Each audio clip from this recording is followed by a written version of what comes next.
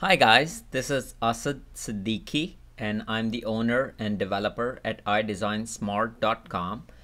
Uh, I decided to create a video for UDesign WordPress theme, how to customize it and how to set it up.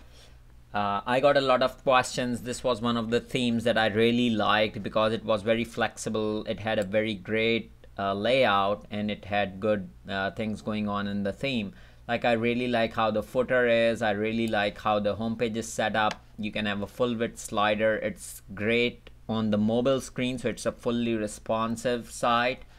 Gives a good way to give you an introduction for your business and a quote or like some something that you want to um, make it stand out. And then briefly you have nice sections here uh, to display some services with some pictures and in different styles so if you go to home here you will have like different style home pages and they also provide you the code for that. So it's a very good theme if you want to get a site up and running real quick. And it gives you a lot of customization options which some of them will um, uh, I will show you how you can do color management and different kind of things in the theme so let's get started. I have a sample uh, WordPress install over here. Uh, it's the most basic, if I visit this site, it's the most basic 2012 theme that I have set up. And as you can see right now, there is nothing on the website. So we will install the theme and then we will get started. So let's go ahead and install the theme. So I will go manage, add new. I purchased the theme from ThemeForest so if you do that they will give you a zip file that you can upload here in the WordPress backend. So I will upload it. And here it is. So I will install now. Of course you can also install it by uh, copying the udesign 20 directory under your wp content forward slash themes directory there is a lot of documentation on that and videos that show you exactly how to do that. So I'm not going to go in a lot of detail about uh, how to copy the theme on a WordPress install. So as it is installing uh, we will go ahead like there are different home pages. Like if you can do, do home page 5 you will see that the layout will slightly change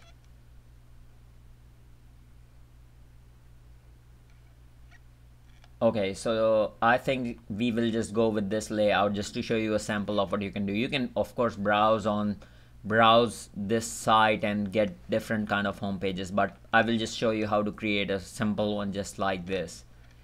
So what we need to do is to install the theme. My theme is almost installed. It says 71%, so bear with me.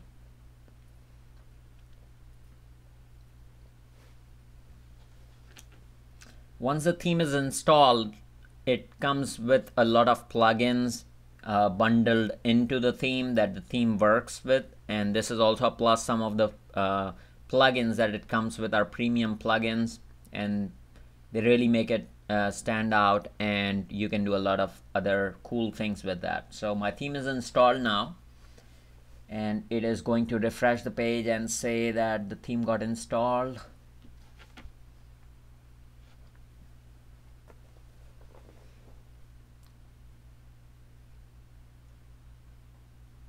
okay so I will just say activate here means that I want to activate this theme. And you so uh, you see this notice that says uh, activate install plugins and dismiss this notice. So I will just go ahead activate install plugins and you see all these plugins got installed. So I can just um, activate everything in bulk. You might have slightly different um, okay so everything is activated you see a revolution slider is showing up here. So if I go back and refresh this page now you will see that my theme got installed here and it has some um, slider here and a home page is set up. So let's go ahead and set up revolution slider a full width slider with a 500 pixel width or something like that. So I'll show you how to do that.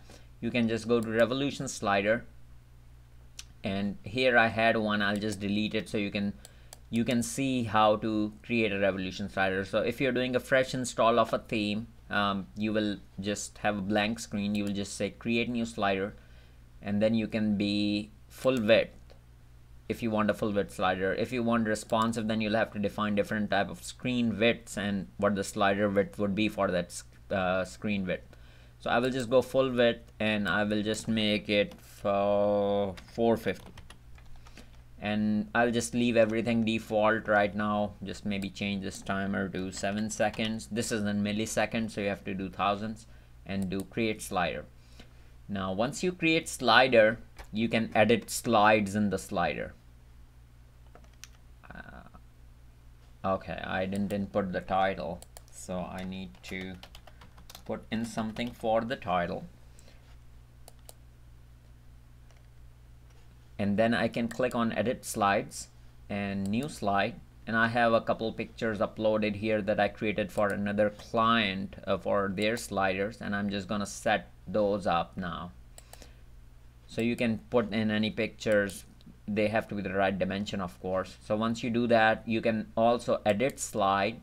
And if you want some text you can just click on the button add layer and then define your text here. Your text will show up here. You can drag and drop it and create animation effects uh, different kinds of uh, effects that something similar to like you see here in the home page. So text sliding in it's dropping by videos can come in. So all that stuff you can do here by configuring this text and video. It also has an option for video and images so right now I won't change any of that. I will just close this. So I have two slides with just some pictures and I will close it. So now I've created a slider that is called home.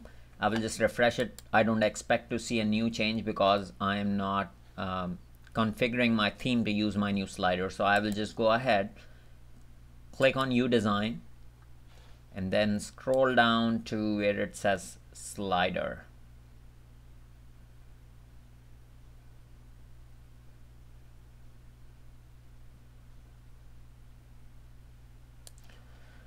current slider set to flash mode grid slider. I'm gonna change this to revolution slider and save and activate.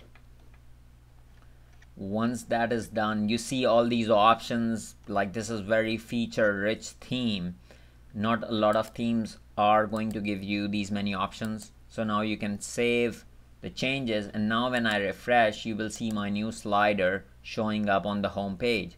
So this is awesome uh, my slider is set up in like five minutes. Now what I need to do is um, this layout right now is not responsive. I haven't configured the site to be responsive. So if I resize this oh actually it is responsive. So by default that flag was set because before when I use the theme uh, the default option was not set to be responsive.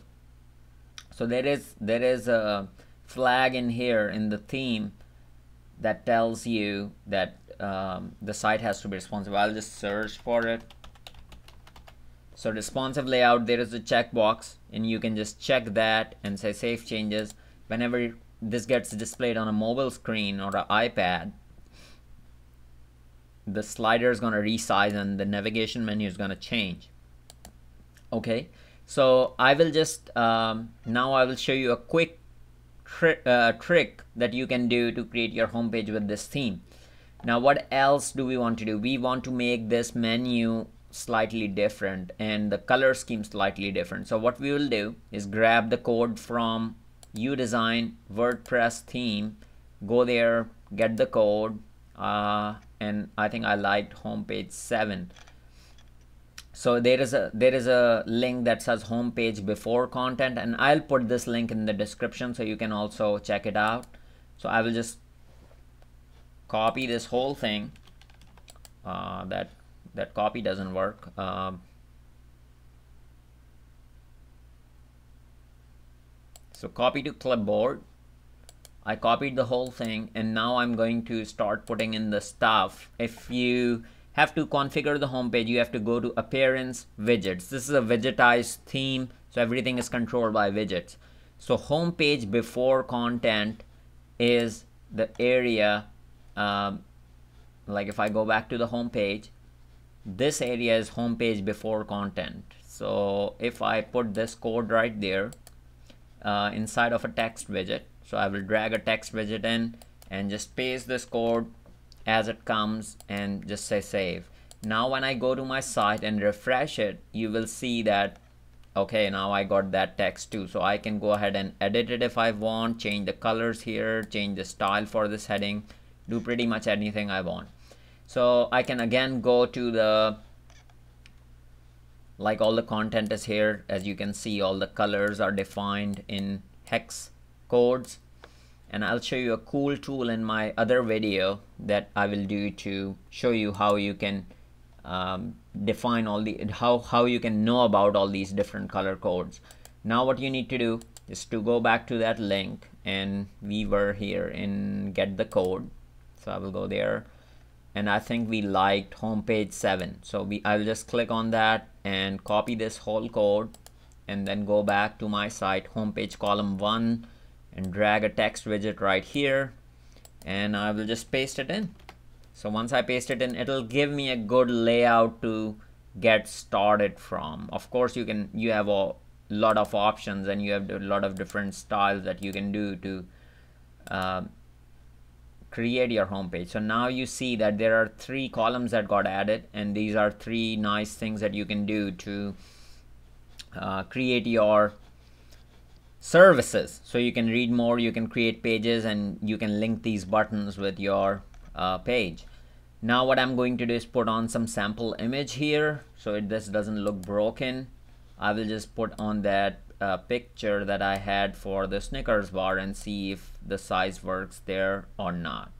So I will just go to media uh, library, open this in a new window and there is a Snicker bar, a Snicker bar right here. So I'll just click on that and get this URL uh, where my Snickers bar is and what you need to do to replace those images is there's an image source tag right here. So if the image source tag you can just I don't know if this is going to work or not because of the size but we will just give it a try and see what happens.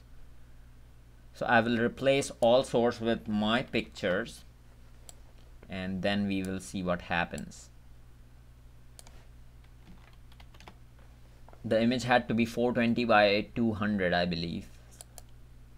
So let's see if this resizes it or not. So if I refresh the page now you see. So there is a nice resized image that is styled by uh, by the theme. So the image gets resized. And then you have three nice sections here uh, that you can do to um, display your services and read more. Now what I'm I'm going to do is to put some more text like this uh, after this uh, services. So I'll go back again to my widgets and I'll grab whatever I had in this box. And I will just copy that.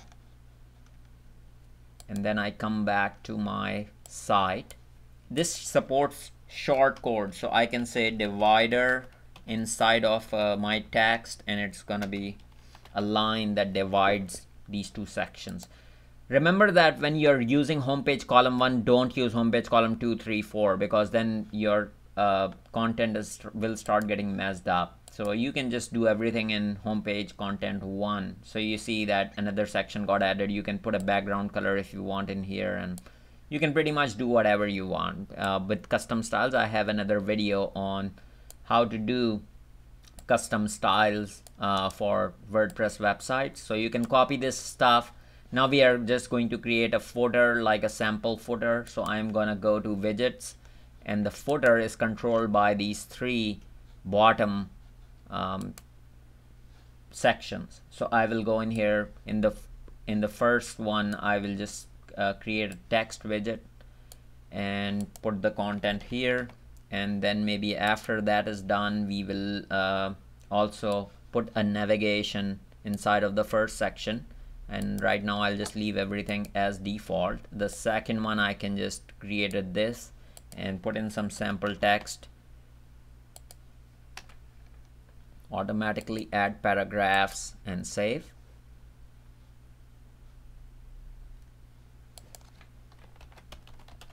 I'll just give it a title as well. So this text can be formatted as you like. So uh, you can change the colors. You have total um, control over that. And